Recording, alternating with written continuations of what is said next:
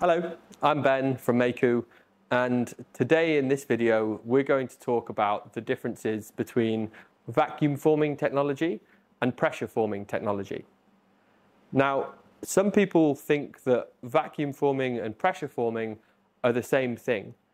Now they are both thermoforming and sit under the thermoforming term but there's some really key differences that we're going to sort of highlight and talk about today between pressure forming and vacuum forming.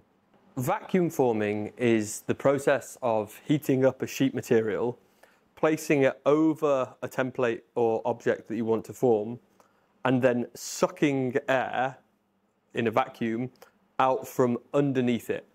So pressure forming is the process of heating up a sheet material and laying it over a template or tool that you want to form the main difference between that and vacuum forming is that we actually flip it on its head and we apply positive pressure from above the sheet material rather than sucking a vacuum from underneath it.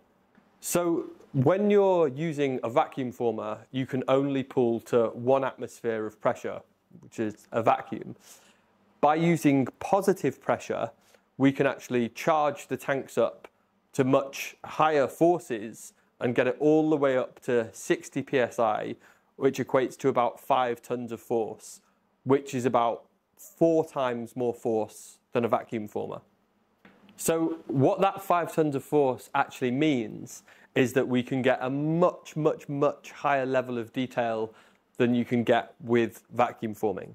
With five tons of force, you can essentially pick up the same amount of detail that you'd get from injection molding, which is impossible to get with a vacuum formed part.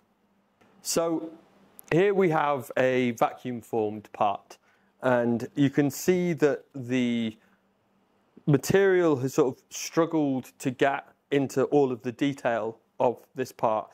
There are a lot more rounded edges in these geometries that should be very sharp and the surface texture here has hardly been picked up at all, and that you can see these quite large radiuses around the edge of each of these parts as well. If you compare that the same model to a pressure formed part, you can see that all of these separate bosses are incredibly sharp and have a lot more definition.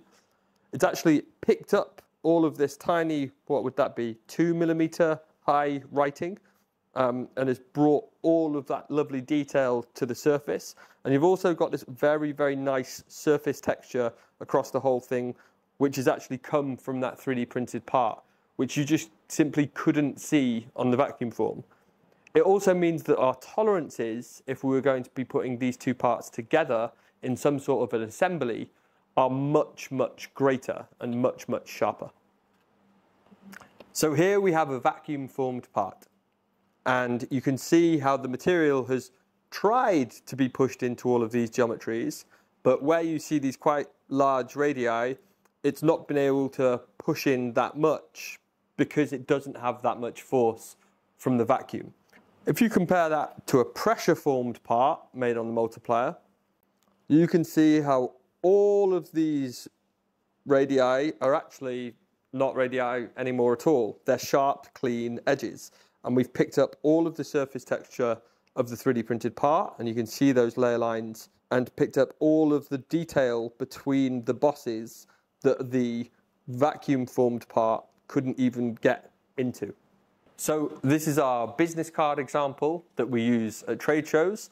And you can see on this vacuum formed version of this, um, we've picked up very little of the detail from the 3D printed template or, or tool. The QR code hasn't really come out at all. Um, neither of the rulers and the Mayku logo and the refraction grating are essentially non-existent. If you compare that to our pressure formed part, you can see that the surface texture across the whole thing is incredibly smooth and accurate. You've got that tiny, what would that be, like 0.2 mil writing, which is picked up, which is impossible to even see on the vacuum form part, your QR code is absolutely clear. All of your debossed and embossed ruler is very, very clear and sharp as well. And most importantly of all, this one micron refraction grating, you can actually see the rainbow in itself.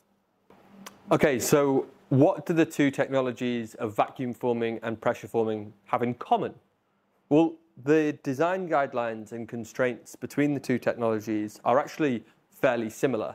You can use draft angles, air holes, and you can also use either male or female tools. So what about materials? Well, between pressure forming and vacuum forming, you can actually use any type of thermoformable material. The only key difference to really understand is that a pressure former will be able to do much thicker gauges of material because it is much more powerful. Okay, so now we're just going to cover a quick summary of the key differences between vacuum forming and pressure forming. Okay, so first things first is really about level of detail. You're always going to get far superior levels of detail using pressure forming over vac forming because you essentially have four times as much power. And in turn, what that really means is that your part tolerances are going to be much, much, much tighter, much closer to injection mold levels of quality rather than vacuum forming. It also means that with pressure forming, you're going to be able to replicate your surface finish almost identically to whatever it is that you're trying to form, whereas vacuum forming will really struggle with that. And with pressure forming, you're always going to be able to use much thicker gauges of material thicknesses that you would not usually be able to use with vacuum forming. So what is it that these two technologies also have in common? Well, the first thing is affordability. They're both very affordable production processes for small production runs with short lead times and fairly simple to make and accessible tooling. The second thing is speed. They're both quite quick production processes where you can go from idea to final part in your hand pretty rapidly. What in turn that means is that they're both quite flexible production processes as well. You can test and iterate on ideas quickly and cost effectively. So both of these production processes can also employ very tough and durable materials that you might not be able to get from other prototyping or batch production processes like 3D printing, for example. So they're also both very viable production processes for producing food safe packaging and materials. So if you want to make prototypes or small production runs in a food safe way, both vacuum forming and pressure forming are good technologies to do so.